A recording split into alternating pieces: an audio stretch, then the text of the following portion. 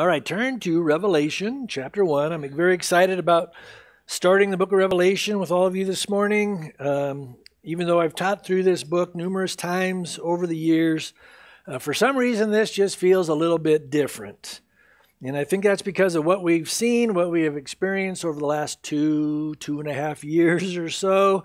In other words, everything in our world, politically, socially, environmentally, uh, scientifically and above all spiritually has gone through a dramatic shift over the last few years.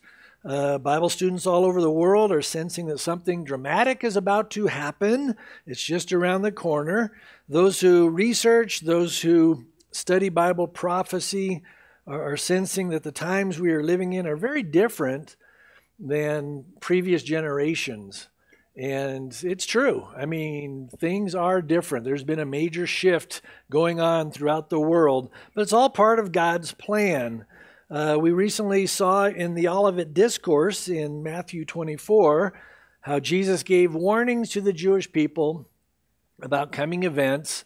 First, he talked about warnings about coming events in the near future, which was the destruction of the temple in Jerusalem and that happened in 70 AD under General Titus. Then he also gave the Jews warnings about things that would happen in the last days. He said there in Matthew 24 15, when you see the abomination of that, that causes desolation standing in the holy place, and he's referring to when the Antichrist goes into the rebuilt temple in the last days, when you see that, he says he will be demanding worship as God. Jesus says when that when you see that take place, uh, the Jews need to flee. He says, Jerusalem, flee Judea, pray that it's not on the Sabbath. And so he's talking about the Jews during the last days because he says what's going to happen right after the abomination of desolation. This is Matthew 24, verses 21 and 22. For then there will be great tribulation, such as has not been since the beginning of the world until this time no, nor ever shall be. And unless those days were shortened, no flesh would be saved, but for the elect's sake, the Jews, those days will be shortened. So Jesus speaks of that horrible seven year period known as the Great Tribulation. Now, it's in the book of Revelation. The Great Tribulation is described in great detail from chapter 6 through 18. That is what the Great Tribulation is all about. Literally, it comprises two thirds of this entire book of prophecy.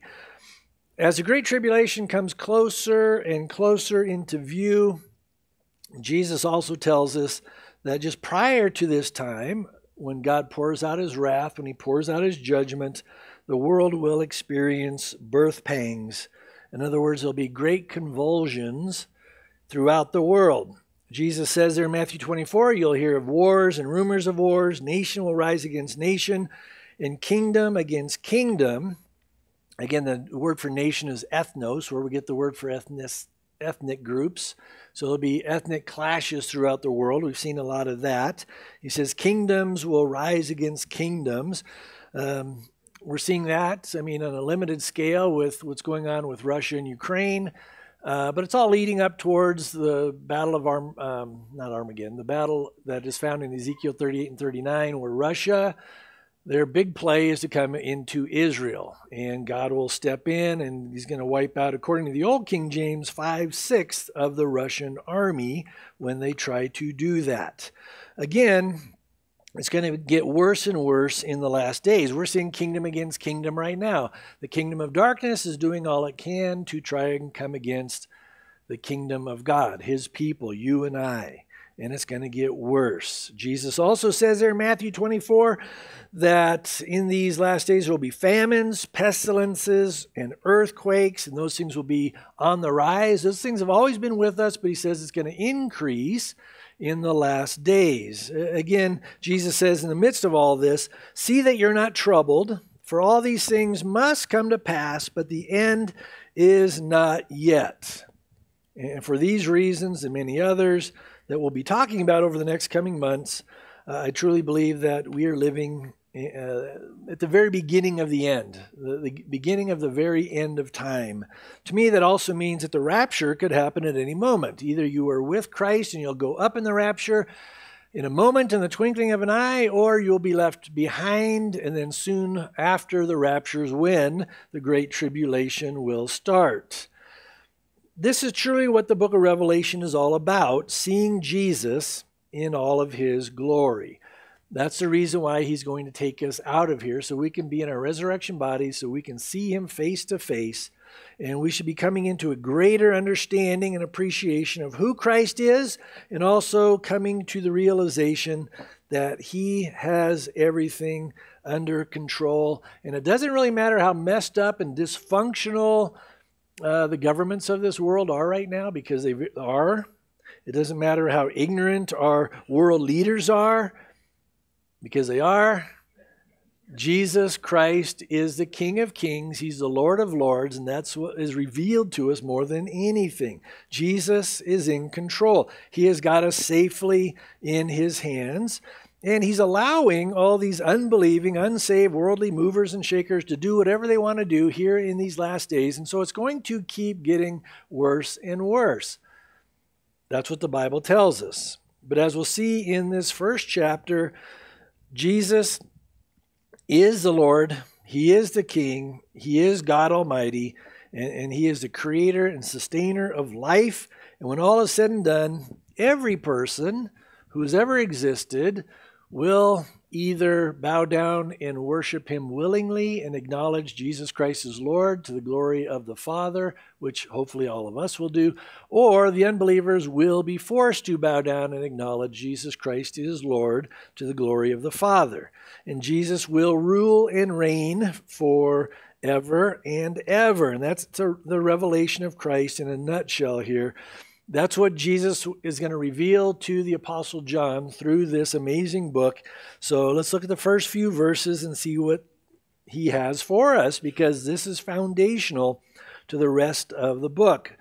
We won't get too far, but it says, The revelation of Jesus Christ, which God gave him, gave Jesus, to show his servants things which must shortly take place and he sent and signified it by his angel to his servant John, who bore witness to the word of God and to the testimony of Jesus Christ to all things that he saw.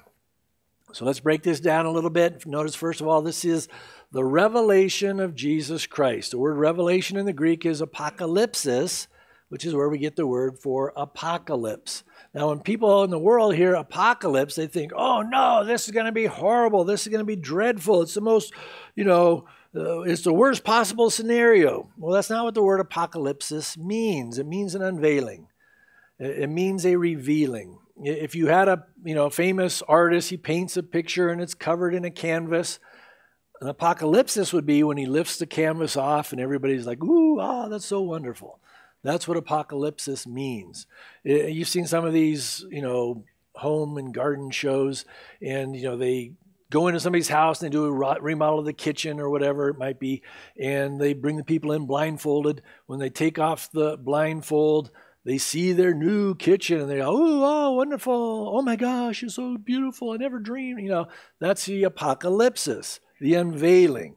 So Yes, we will see God's wrath unveiled, but this revelation of Jesus Christ is infinitely greater, vastly more amazing than anything that this world could unveil.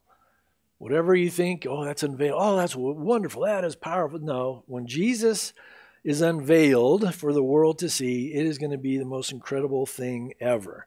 Um, because he is going to be revealed in all of his glory, in all of his splendor, and his majesty. Later on, Lord willing, next week we'll get to the second half of this chapter and we'll see Jesus in that glorious state. Notice in this introduction it says the revelation of Jesus Christ. And as we'll see, this is also a revelation from Jesus Christ. Notice it says, which God gave him, Jesus, to show his servants doulos, uh, the messengers of chapters 2 and 3 will, will receive this message.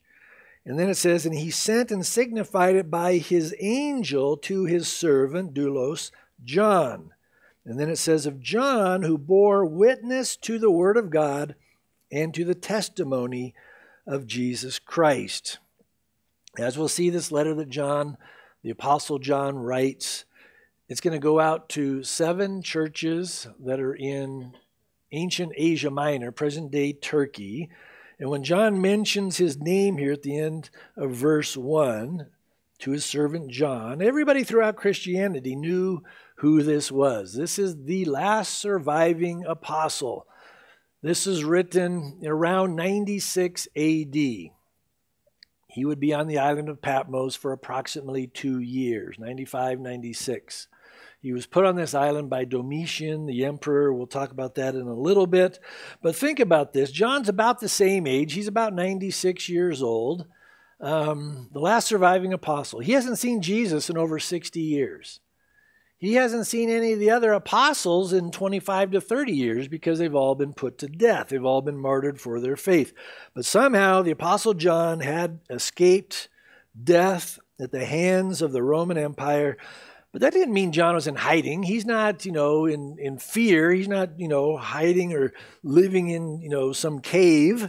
No, he continued to serve the body of Christ until he would die in Ephesus around 100 years of age, give or take. So, Jesus had John safe in his hands until his earthly days were finished. Remember at the end of John's gospel, Jesus is restoring Peter, and then Peter says about John, What about this guy? You know, and Jesus says, Hey, if I want John to be around until I come back, you know, what is that to you? So rumors started going around, Oh, John's going to be alive when Jesus returns. Well, that's not what happened. That's not, and John even says that's not what's going to happen. But this is probably what he was referring to. He was going to be around until Jesus revealed the book of Revelation to him. But he could not die until God said, Your time is up you and I were safe and secure in God's hands until He says it's time to go. You know, many of you have been praying for Chuck. You know, he about three weeks ago, four weeks ago now, uh, pretty much dead. He had a heart attack at home on the floor. He had another heart attack in the ambulance. He had a third heart attack when they get to the hospital. I get up to the hospital and see him, and I'm like, he looks dead to me. And he was pretty much gone. And they're you know we need to pray. Say okay lord he's yours and all that. And and uh, he's going into rehab tomorrow. He's he's doing great. It's amazing. God's hand is on him. He he's not going to die until god says it's time to go. That's cutting it close. But he knew the lord. He knows the lord. So that's awesome. Anyway here's the last surviving apostle Later, we're going to see that he's banished to this island called Patmos. It's just a little remote island just off the, the coast there in present day Turkey. He's there, again, put by Ro, uh, the Roman Emperor Domitian. Uh, Domitian reigned from about 81 to 96 AD. Domitian was brutal. He was um, putting to death hundreds of thousands of Christians at this time. It, it started with uh, Caesar Nero. He was wanting to kill off Christians. He blamed Christians for the fire that started in Rome in 64 AD. Then, when he dies, Domitian takes over, and he became even worse. Probably about the time John writes this, there's been close to a million uh, Christians that have been put to death. Within a 250 year period from Nero to Constantine, six million Christians would be martyred for their faith. So it was a brutal time. Uh, history says, you don't find it in the word, but history says that uh, Domitian tried to have John boiled in oil, and when they dropped him in, it didn't do anything to him. And so he banishes him, and he'll talk about this in, in chapter 1 later on that he would be banished to the island of, of Patmos because he's a political prisoner. Even today, Patmos is a little deserted island, very desolate. But as I've always said, when I talk about John being in desolation, being in isolation, that's where he receives the greatest revelation. And that's true for some of us. You might be in a place where you're going through isolation, you feel all alone, you feel like, eh, nobody cares, whatever. It's in that place of isolation that God can give you the greatest revelation. So always be attentive to what God wants to say. Notice also here in verse 1 it says that God gave this, uh, gave this to Jesus to show his servants, and this would also include you and me, things which must shortly take place. Now, first he says servant is doulos. Some of you noticed the coffee out there in the foyer. It's called Doulos Coffee. Uh, you want to be a bond servant to coffee? Buy our coffee. It'll make you a slave to coffee. No. But that's what doulos means. You're a bond servant, a bond slave. But we are to Jesus. Uh, we're uh, doulos of Christ. Are you surrendering your life to Him? Is He your Lord, your Master? Or are you still ruling your own life? Are you still trying to live life your way? Listen, after seeing the revelation of Jesus Christ, hopefully you will quickly discover that nothing and no one can come close to being the perfect master over your life other than Jesus Christ. You know, Bob Dylan sang that song years ago, you got to serve somebody. It might be the devil, it might be the Lord, but you got to serve somebody. We're all servants, slaves to something or someone.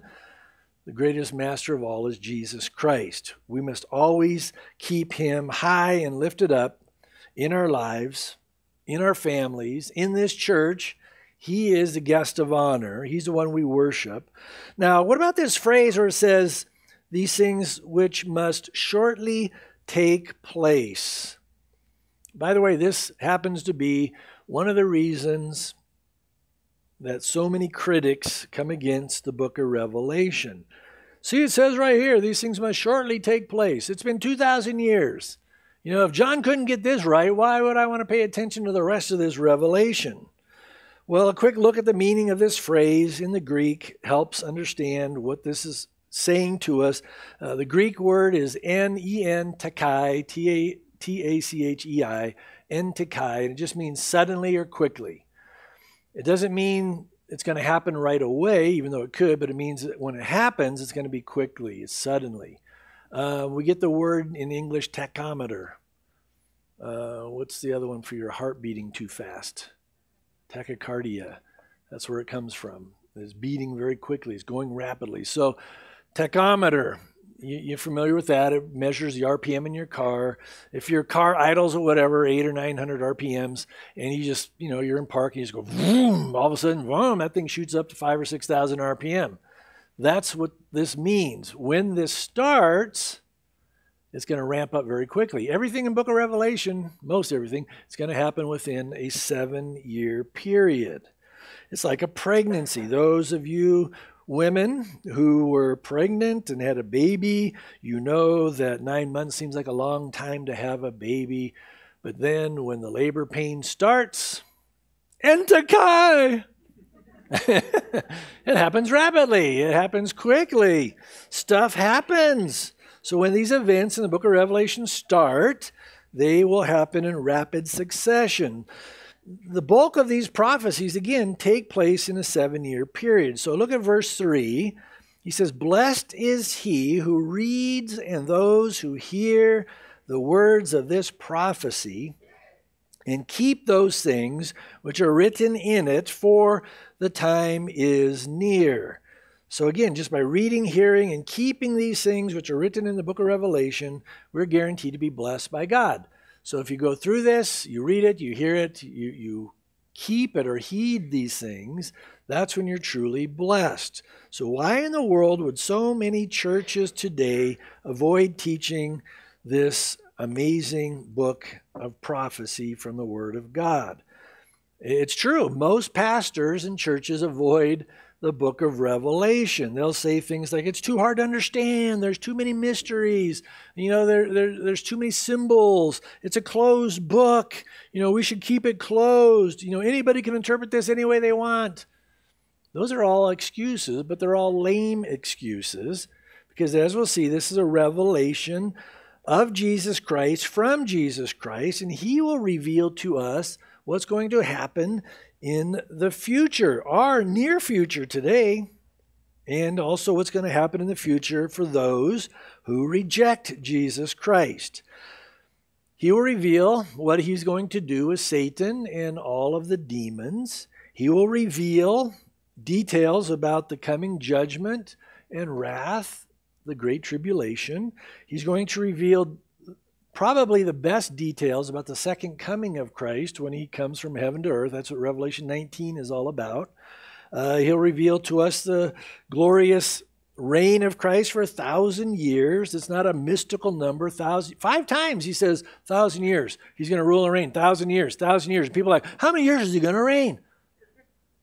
A long time. No, it says a thousand years. Come on, it's not that hard.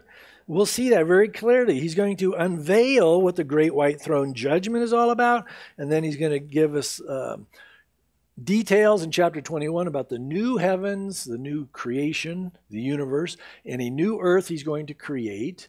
And he gives us the greatest details about our eternal dwelling place in Revelation 21 and 22, which is New Jerusalem. That's our heavenly home. Amazing picture there. Again, the greatest revelation of all will be seeing Jesus in all of his glory, in all of his majesty, face to face. That's the greatest revelation. That is why this book is given to us. Hopefully, as we go through this book, we will experience a greater personal revelation of Jesus for ourselves. Yes, it's wonderful to see Jesus in the incarnation. Yeah, he was born in a manger, in a barn, laid in the manger. That's wonderful to see, and we talk about that every Christmas. It's great to see Jesus in the Gospels, healing the sick, cleansing lepers, opening blind eyes and ears uh, casting out demons, raising people from the dead. That's glorious.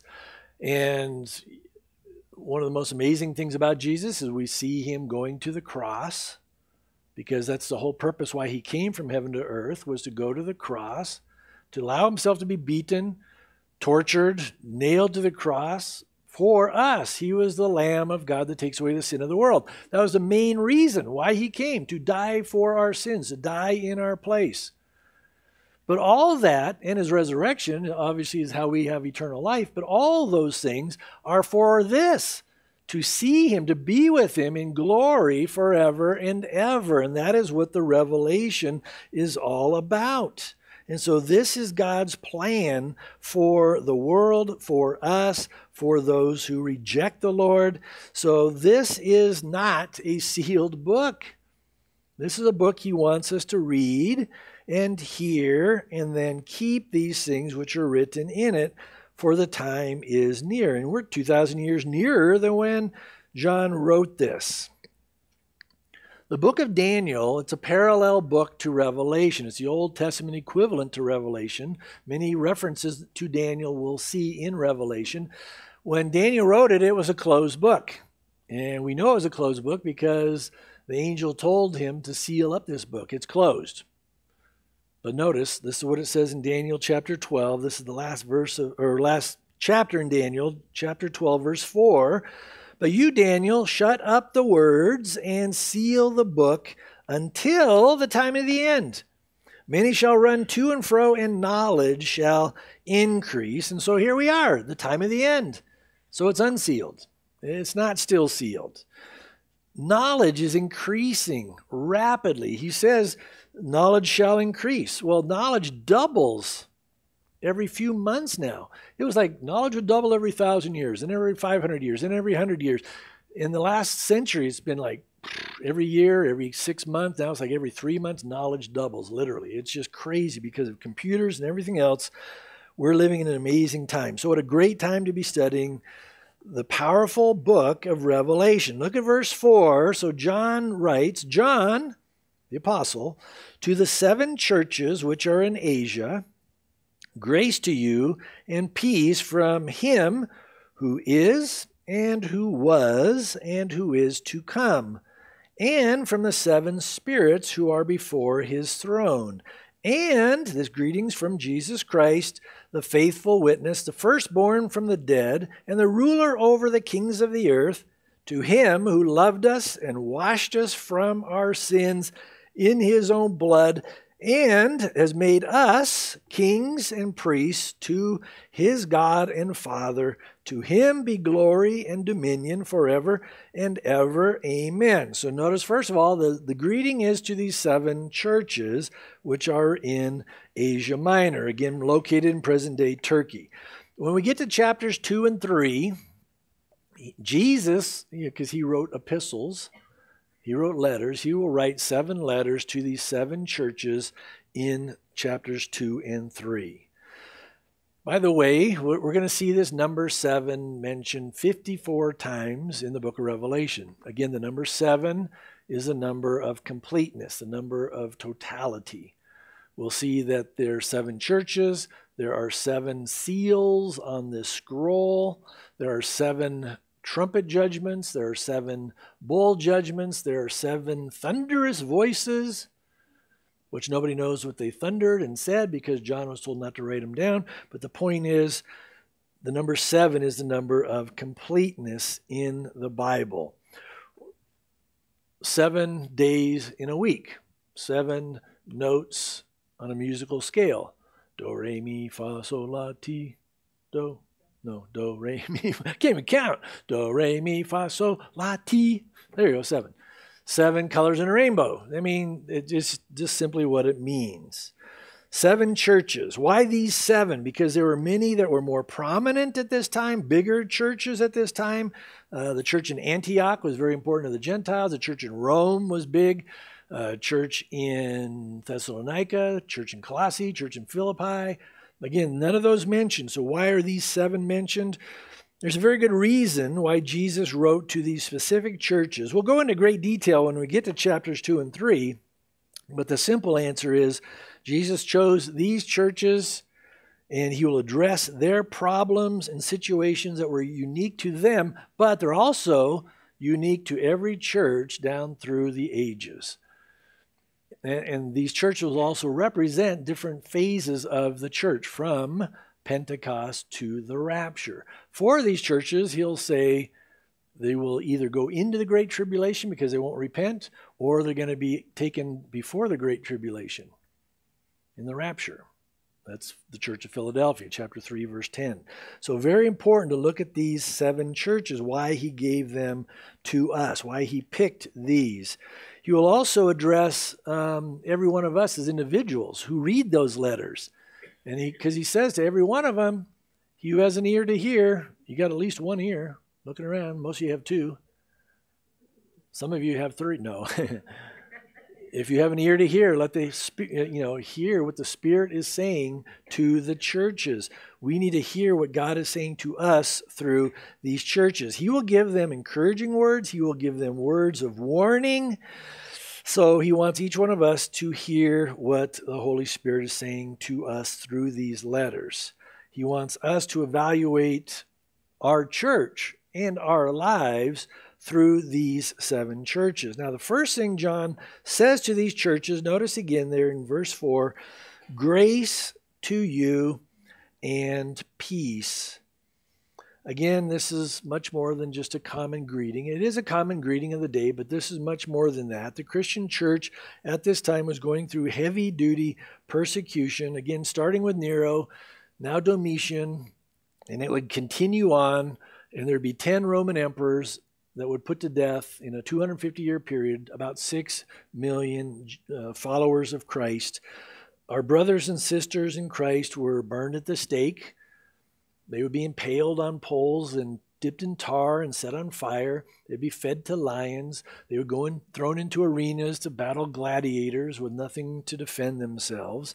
It was a brutal time. Why were they doing this to Christians? Because Christians refused to say, Caesar is Lord. That was the demand. You must recognize whatever Caesar was in charge, he is the Lord. And Christians like, no, Jesus Christ is the Lord. He's the only Lord. He's the King of Kings, the Lord of Lords. I'm not going to bow down to some human, you know, leader like a Caesar Nero or Caesar Domitian or Diocletian or all these other guys. And so, no matter how difficult it, you know, it might be in our lives today, we don't bow down to anyone but Jesus. It doesn't matter what our governments say. And you just look over the last two and a half years with the whole COVID thing and, and all this stuff, the fallout that we're seeing in our nation politically. Whatever lion might be chewing on you today, whatever arena you feel like you've been thrown into, the, the important thing is we need God's grace and His peace. Otherwise, and I've seen it all too often in Christians. You get bitter, you get angry, you just want to fight everybody and argue about everything. That's not what Jesus has for us. He wants us to walk in His grace in His peace. We're going to see one guy, Polycarp, who was a disciple of John, the Apostle John, and he'd served the Lord for 86 years. Well, he was 86 years old. He'd served the Lord for most of his life, and they arrest him, and they say, just, you know, confess that Caesar is Lord. He wouldn't do it. And so they tied him to a stake, and they built a fire around him. And it says, it said, all you got to do is just say Caesar's Lord. Just give in. You don't have to die. He goes, You know what? I've served the Lord all these 86 years, and I'm not ashamed to die for the Lord. And so do whatever you need to do to me. And so they said, The fire's going to be hot. And he tells them, Not as hot as the fire you're going to experience. I mean, he wasn't going to go down. He wasn't going to go down, you know, timidly. And so they set the fire, and it says, uh, and those that were witnessing, because there's a big group there, says the flames leaped up over him like an arch and didn't burn him. And so it was, they were just like, what's going on here? So one of the guards comes and st- sticks him in the heart. Blood pours out, and it actually extinguished the fire. But that's how he died. Then they burn him afterwards. And sad situation, but he was not going to bow down because he knew where he's going to spend eternity. Jesus Christ is worth it. He wants to lavish grace and mercy upon each one of us. I mean, think of our brothers and sisters today. We got brothers in, you know, India right now. They're being persecuted. In China, there's heavy persecution against Christians, even though there's approximately 200 million Christians in China. I can guarantee that's probably at least five times as many Christians in China than in the United States. You know, you look at Iran. You would you like to be a Christian today living in Iran? That'd be brutal, but they are. They're, they're hanging in there with Jesus. I mean, all over the world, we find persecution. God wants to lavish His grace, His unconditional favor upon us. He wants, to, wants us to experience His peace that surpasses all understanding, no matter what we go through. You know, in those difficult days of cancer, or you're battling some sickness, or you've had a heart attack or a stroke, or whatever pain you're getting just because you're getting old, like me, he wants you to experience his peace that surpasses all understanding. Now, John tells us where this grace and peace comes from. Again, look here in verse 4 grace and peace from him who is, and who was, and who is to come. This is a reference to God the Father. This is the true meaning of Yahweh, Jehovah.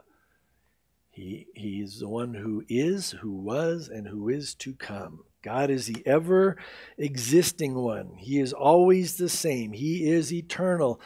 Few verses to look at. Malachi 3 6 says, For I am the Lord. The, the word Lord there is Yahweh. I do not change.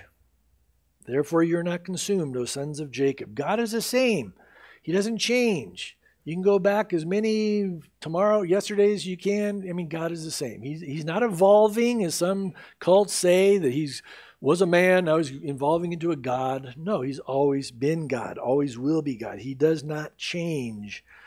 This is how God revealed himself to Moses. Exodus 3:14. God said to Moses, "I am who I am." And he said, Thus you shall say to the children of Israel, I am has sent me to you. I am the self existing one. He's unchangeable, he's eternal. But guess what? So is Jesus. Jesus is God, he is God the Son. John chapter 8, verse 58, we read, Jesus said to them, Most assuredly, I say to you, before Abraham was, I am taking the eternal name of God. The Jews took stones to stone him, and he said, Why do you stone me? For what good work? Not for any good work you do, but because you, being a man, make yourself God. So the Jews knew exactly what he's claiming to be co equal with God. Jesus is saying, I am God who has come in human flesh. As far as Jesus being the unchangeable, eternal God, a very simple verse, Hebrews 13, verse 8 says, Jesus Christ is the same yesterday, today, and forever. So God is the one who is and who was and who is to come. And we should all be looking forward to his coming because he's coming first for his bride, those that belong to him, and then he's coming back with his bride at his second coming. We'll see that very clearly in chapter 19. In Donald Grey Barnhouse's commentary on Revelation, he says that the Apostle John is giving us a Hebrew description of God's name here. Him who is, Yah, the one who was, Ho, and the one who is to come, Va. You put those three names together and you have Yahovah. This is the only place you find this description in the New Testament. Yahovah. It's revealed here in this verse. Here's one of the wonderful things about God He is the one who is. I'm not this dumb, but He knows who I is. You know what I mean? He knows who I am. He knows all about me presently. He knows everything I think. He knows everything I do. He knows me at this moment. God is the one who was he certainly knows what I was when I was living in sin and rebellion against Him, using His name in vain, shaking my fist at Him, and all the stupid things I did back then. He knew what I was. He knows what you were. Here he is today saying to me, maybe to some of you, Jeff, grace and peace to you. The one who is. I know what you're like. I know you're not perfect. The one who was. I was there. I knew you. I called you from your mother's womb. I knew all the things you were going to do. Yes, this world is falling apart all around you, but I have resources you need to make it through. What is it? You just said, my grace and my peace. That's what we need. He is the one who is to come. He's coming back, but he's also the one that's going to change us and finish what he started in us. Remember Philippians 1 6, he who began a good work in you will complete it till the day of Jesus Christ. So he's the one who is to come, and he'll fulfill all that he has done for us. And it's all because of his grace and his love for you and me. So God is eternal. He is past, present, and future. So that means we cannot surprise God we often surprise ourselves. Oh man, I can't believe I had that thought again. I can't believe I did that again. I can't believe I, whatever you can fill in the blank. I can't believe I said that. I blew it again. God's like, no surprise here. you can't surprise God. But His grace and His peace toward us should not come as a surprise to us either, because as His children, He loves us unconditionally. He'll never leave us nor forsake us. And just knowing that should cause us to want to walk closer with Him, to be close to Him, not, you know, turn our back on Him. And then notice this grace and peace comes from the seven spirits who are before God's throne. Who are what are the seven spirits? Again, what is the number seven? The number of completeness. To me, this is speaking of the fullness or totality of the Holy Spirit. And we'll see that phrase used, and it's spoken of the Holy Spirit around the throne of God. But the seven spirits do not represent angels, because angels do not disperse God's grace and peace, but the Father, Son, and Holy Spirit do. So we're, we're seeing a very unique picture of the Trinity here. Uh, we're going to see this description again numerous times in Revelation of the Holy Spirit. But here's a great section. It's in uh, Zechariah 4. Um, we're given a vision that God gave to Zechariah where he sees seven lamps upon a lampstand. Remember the menorah in the Holy of Holies, or the holy place, in the tabernacle, and then in the temple. And the menorah represents the Holy Spirit, the light also represents Jesus, the light of the world. But seven lamps upon the lampstand. Then the angel asks Zechariah, you know, you know what these are? And he goes, no. And then he tells him, Zechariah 4 6. So he answered and said to him, This is the word of the Lord to Zerubbabel, not by might nor by power, but by my spirit, says the Lord of hosts. So that's what the Lord of hosts, the Holy Spirit. He's the one that seven lamps upon the lampstand. Then Zechariah 4:10, God tells Zechariah, "For Who has despised the day of small things? For these seven rejoice to see the plumb line and the hand of Zerubbabel. They are the eyes of the Lord which can which scan to and fro throughout the whole earth. So the Holy Spirit is God. He's a person. He's not some kind of a force field like Star Wars, the force be with you. No. The Holy Spirit is a person. He is God the Spirit. He's omnipotent. He's omniscient. He's omnipresent. Jesus tells us that the Holy Spirit is the helper and the comforter. Uh, in, in John 16, around verse 8, it says the Holy Spirit, when He comes, will convict the world of sin, righteousness, judgment. The only reason I knew I was a sinner back when I was at San Diego State was the Holy Spirit kept convicting me. You're a sinner. You need Jesus. You need help, Jeff. Yeah, and it was the Holy Spirit that finally broke through.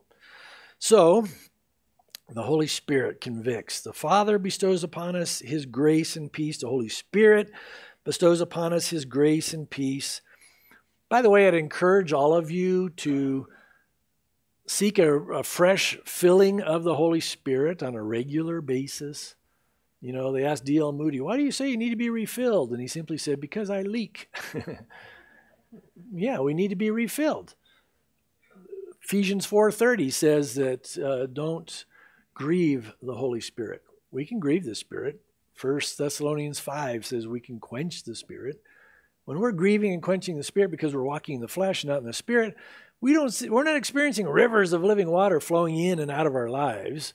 We're grieving, we're quenching, and so Ask the Lord, cleanse my heart, renew me, Lord, draw me, fill me up again. The Holy Spirit never leaves us, He's always in us, but we want the rivers of living water. And only you know is this rivers of living water coming out of my life, or is it just a little drip, drip, drip?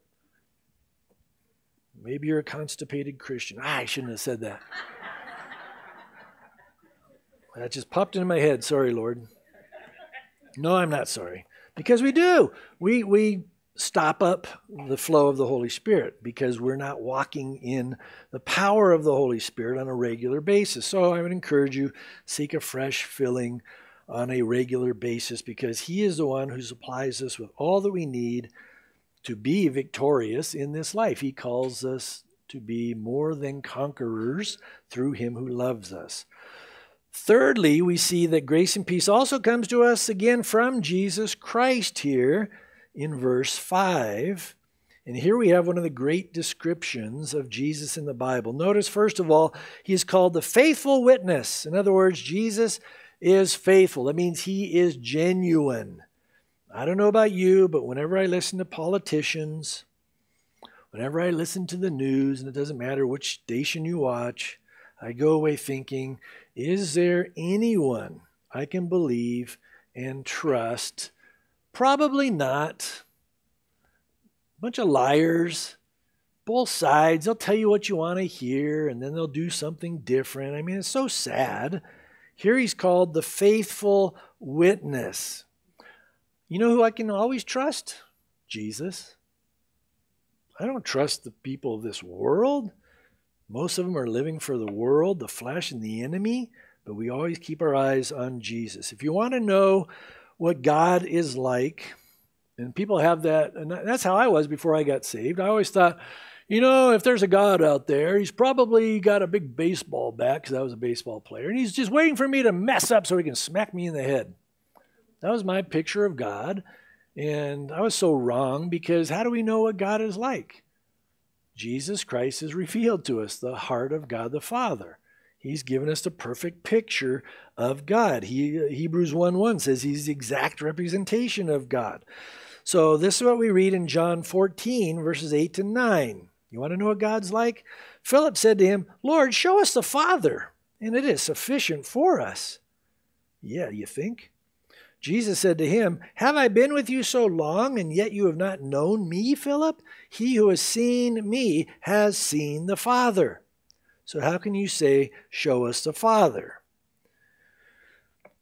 Perfect example of the Father, perfect representation of the Father. You look at Jesus Christ as He's revealed to us in the Word of God, and that's the best picture you'll ever get of Jesus. Notice it then says here in verse 5 of Jesus, He's the firstborn from the dead. What does that mean? Well, look at Colossians 1:15. It says of Jesus, he is the, the image of the invisible God, the firstborn over all creation. And then a few verses later, Paul says Jesus is the firstborn from among the dead. Same thing John says here. What does that mean, firstborn? Because there's some groups out there that say firstborn means he's the first one created, or he was born first. That's not what firstborn means. The Greek word is prototokos, which means preeminent one. So he's the firstborn over creation because he created all things. So he's preeminent over it.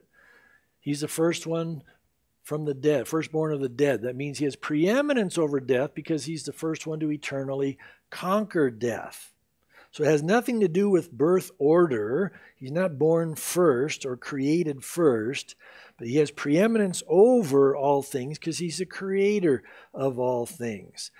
Again, as the King of Kings and Lord of Lords, Jesus is the ruler over all the kings of the earth, not Biden or Trump, not Chinese Premier Ying, and not Putin. Jesus is the King of Kings and the Lord of Lords. Now, notice at the end of verse 5, I'll end with this to him who loved us, speaking of Jesus, and washed us from our sins in his own blood. By the way, this is very important. The word, the, the word here for loved, who loved us, it's in the present tense. It literally means to him who loves us. He loved you in the past, yeah, but he loves you right now. You might be a big screw up today, but he still loves you and he's not done with you. The word washed here is in the past tense because Jesus died once and for all for our sins when he hung on the cross. He washed us of all of our sins in his own blood. Amazing. His once and for all death on the cross for our sins is a finished work. We saw this a few weeks ago when we are finishing up Matthew and in John, where Jesus says, It is finished, cries out on the cross. Tetelestai are paid in full. He washed us in his own blood. Once again, the blood of bulls and goats and the blood of sheep. The old covenant that God established with the Jews, were all that blood was a temporary covering for sin. That's why they had to keep doing it over and over again. Slaughter the lamb, sprinkle the blood in the mercy seat once a year. You know, kill the lamb, you know, to cover your sins for that year but not Jesus. He died once and for all for all of our sins. Verse 6 again it says, And has made us kings and priests to his God and Father. To him be glory and dominion forever and ever. Amen. Again, we'll see more of this in chapters 4 and 5 because we're in heaven with the Lord. And he, we, we sing this new song where we are the kings and priests of the Lord. And he's redeemed us with his very own blood. But what an amazing thing to realize. Jesus is going to allow us to rule and reign with him during the kingdom age. And as kings, we're to lead people. As priests, we are to serve people. And for us today, this simply means we need to lead people to Jesus. And then once they come to Christ, we minister to people with God's love and grace and truth and righteousness according to the word of God. And then he says in verse 6, the last word, Amen. That's the intro.